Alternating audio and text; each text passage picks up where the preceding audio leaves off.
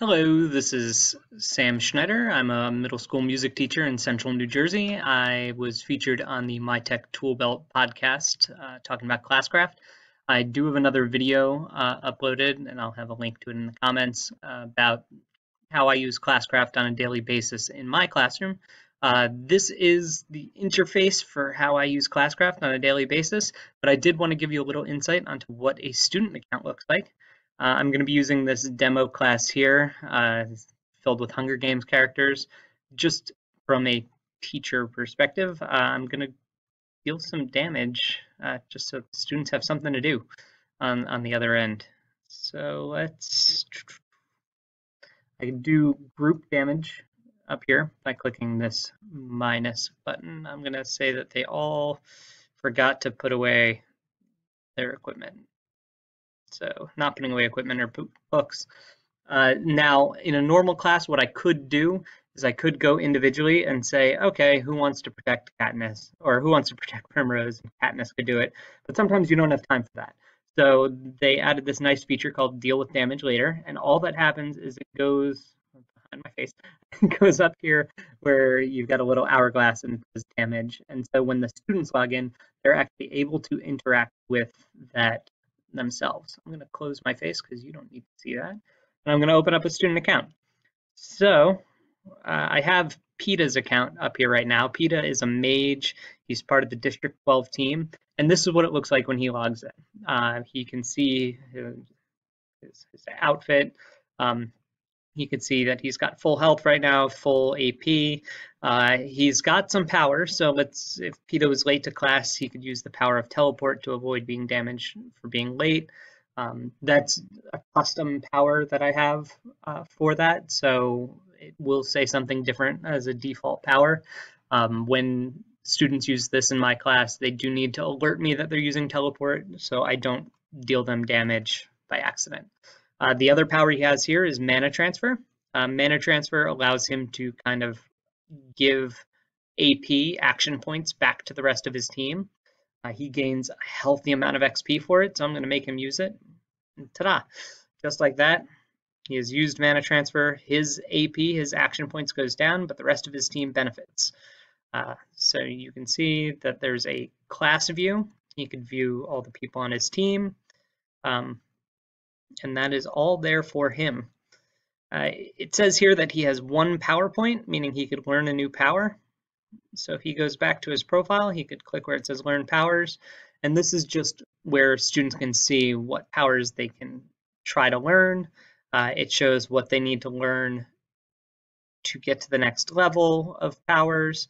So for instance, if they wanted to learn Time Warp, they would need to know teleport and invisibility prior to getting time warp. Uh, so this is just the learning powers screen. Learning powers is very easy. You just click on the power you want, learn for one, ta-da, he has learned a power. Now, other things students can do, they have equipment that they could buy. I've given Peeta 985 gold. Uh, you can buy outfits as a whole outfit. Um, typically, you need to be a certain level to unlock some of the fancier things, but if you wanted to buy something, you just click this buy button. Uh, there are also other things in here. You could change individual items, like change out the belt, you could change out the hood, um, you could customize the look. Uh, you also can equip pets. Uh, you need to fully train a pet and you need to own the entire costume set in order to access the pet. Training the pet is very easy. Um, basically, all you do is you click start, pet goes off, does its mission, and in one day uh, you come back and you collect the reward from the pet and send it on the next mission. Now, this icon here, the interactive classroom content, that is actually an outdated feature. It's been replaced by these quests. So when I send a student to do a quest, this is oftentimes their homework or their self-paced learning. Uh, they go in, they can only see a portion of the map. Uh, if you wanted to see the full map, you could see it in the other video that I mentioned. They click on the introduction and read the cheesy story I wrote, click start quest, and now they could actually start progressing through. So this one here says some sound preparation. Uh, there's a story attached to it. there's a task attached to it where they have to watch this video on Foley artistry, and then the assignment. Um, this one specific, they need to post a comment. So I would say, uh, I really liked the video, which is a terrible response to this assignment. I completely missed the purpose of the question, but I'm doing this as a demo. So I really like the video. Now, Peeta can move on to the next thing. Uh, I have this set up as a self-paced quest, so as long as he turns something in, that's fine, he can go. But if you go back to my screen, uh, I can now see that Peeta has completed part of the quest. I know it's hard to see. I can see that Peeta has completed part of the quest. He claims he has done it. Um, it automatically gave him this, but if I went and read his response, uh, if I read his response task, feedback, you can see that he wrote, I really like the video. I'm going to say, this does not address question asked. And I could actually mark X. And now he is no longer able to do the next step. He needs to go back and fix his work before I'll move him on. Uh, now let's go back to Peeta's screen. Other things that students have access to. Uh, students can view messaging. Uh, they can send me a message directly uh, where I would say, or he could say, hi, Mr. Schneider. I don't get why I did poorly. And I could respond back. Uh, if they're using the app, they can respond through the app as well. Now, one thing I mentioned, yes, and I've received his message. One thing I mentioned was this delayed damage thing. So when a student does something wrong, um, they get a little damage notification there. Uh, Peeta unfortunately doesn't have any powers that lets him interact with it. But if I log into Katniss's account, you'll be able to see that there is actually stuff for Katniss to do. So I'm going to sign out. I'm going to go find Katniss. All right, I had a little hiccup, and now I'm going to log into Katniss's account. And just actually before I get there, to show you there are a couple ways to log into accounts. You can log in through Google, Facebook, Microsoft, Twitter, Clever, um, or you could use a username or email. So if your uh, school district does use Google Classroom or something of the like, uh, you can easily link student accounts, uh, or you could do it simple and just have them use usernames and the like to create their accounts. Now, Katniss has logged in. Um, she has gained a lot of experience over the time, and she gets greeted with this lovely screen that says, You've reached level 14. Uh, because I've been doing demos with her for a while, she's a fairly high level. Um, when you get that message, it also shows you that you can buy new equipment. She's currently wearing uh, April Fool's sunglasses. uh, Classcraft does actually give uh, random holidays and seasons some some bonus free equipment that kids love to equip.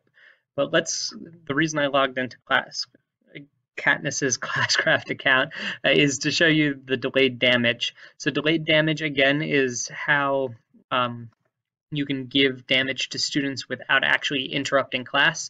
Basically what happens now is the students are the ones that have to interact with it. Uh, teachers can actually interact with it too and just do it later on in the class period, but I personally enjoy the delayed damage because it gives students more of a hands-on uh, play with Classcraft. For instance, um, at some point uh, everyone lost some health because they were talking during the volume meeting meter demo. So uh, Katniss clicks on Prim. She wants to protect Prim, and it tells her that she has 27 AP, and if she uses Protect 1, she loses 10 of those AP. So easy as that, Protect 1. Um, she went ahead, protected, and there we are. Now the next item, you can't actually access the next item down until all this has been resolved. Um, maybe she doesn't want to protect, well, she can't protect herself, but maybe she doesn't want to protect Peeta. Um, Peeta will just end up taking the damage, so I'm going to switch over to my screen, which is this one over here. Um, oops, which is this one over here, and I'm just going to go ahead and give everyone their damage for the Mechas Valley. Oops. I've got a lot of delayed damage that I haven't dealt with. Um, so now if I go back to Katniss's screen, she'll be able to interact with the demo that I put before of putting away books, um, putting away equipment. So now she can interact with this. Um, they're going to lose 10 health each for this, and now she's going to protect Peeta. She has 17 AP left, so she can use Protect 1, that loses 10, or she could use Protect 2, which loses 15. She uses Protect 2, basically, it takes more dam or it takes more AP, causes her less damage, but earns her more experience. So we'll just go ahead and use that. Ta-da! And just like that, the damage has been done. Um, now, unfortunately, she doesn't have enough AP to continue protecting everyone. So that's pretty much the end of, of her delayed damage. And then when I go back to my screen, you'll see that it just shows that Katniss has used Protect 2 on Peeta, and we're waiting on everyone else. Um, and that is pretty much the student perspective of Classcraft um, from their own screen.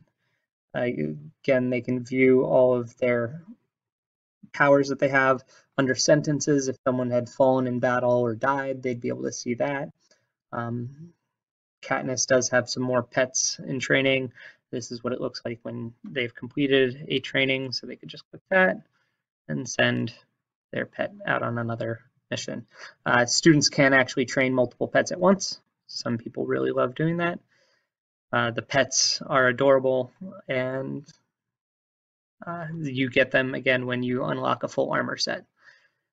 Classcraft uh, has definitely changed the way I do my classroom. Uh, it has uh, given the students more of a responsibility for their behaviors. It's given them more of a chance to interact with their learning.